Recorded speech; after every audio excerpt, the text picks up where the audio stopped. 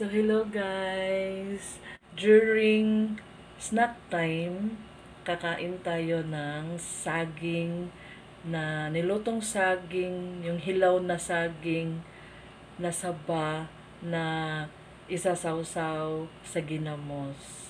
So, mamaya yun guys, sasamahan nyo kami na kain, kumain ng saging. Ah, saging na nilungag, nilungag na saging na isasawsaw natin sa ah, ginamos or bagoong. Gusto ko sa bagoong kasi or sa ginamos yung prito. Pero pwede rin, kumakain din ako na yung yung ano yung nilagyan nila ng suka at saka sili.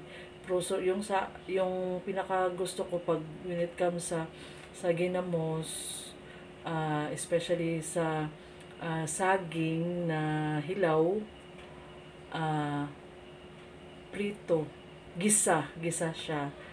Syempre may lamas tsaka yung maanghang. So mamaya yun guys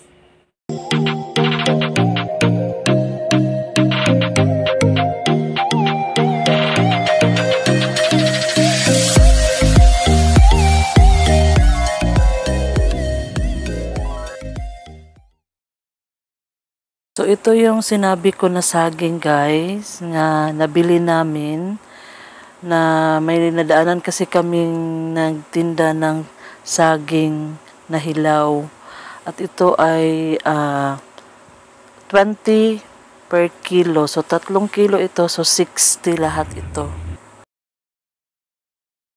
So din guys may nabili din ako na ah, isang botilyang bagoong hot and spicy bagoong.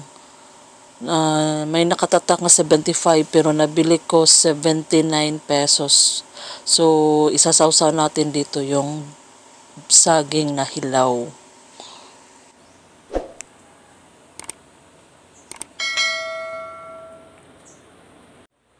Wala guys, niluto na pala ang saging na hilaw. So, luto na siya. Hindi napakita kung paano ah, niluto. Pero for sure, lahat naman alam kung paano ito lulutuin. So, maggigisa na tayo ng bagoong o ginamos. So, ito lang yung mga sangkap natin guys. Tuyas at ahos at ang pinaka-star is ang ginamos o bagoong. So ito lang guys, sila lang tatlo. So let's get started. Magisa na tayo.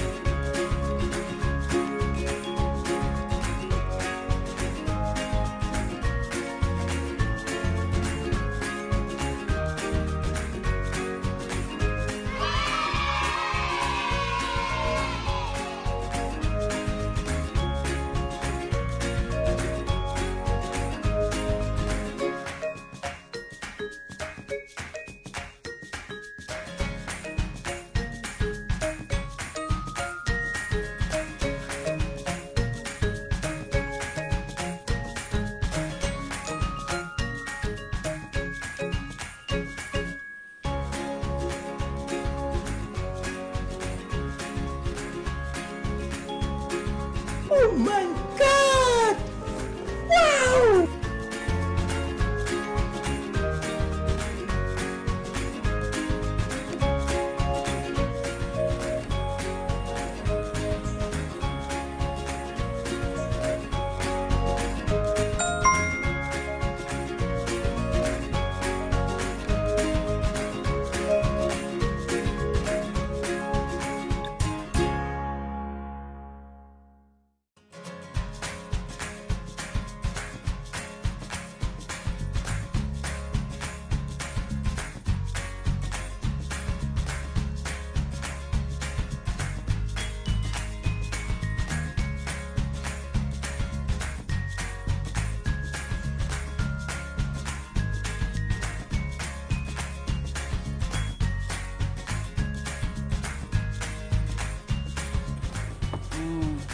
sili pa more.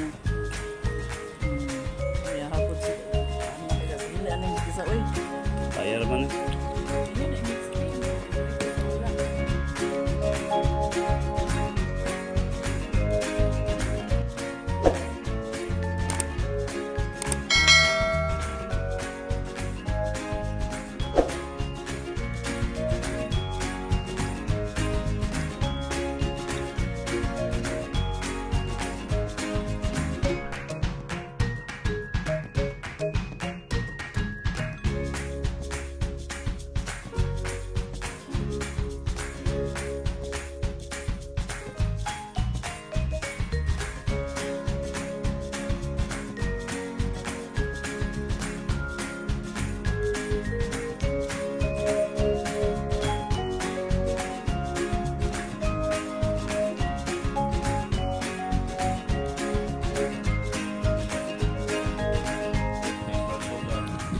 Mabot lagi lima taon rin kami na kayo.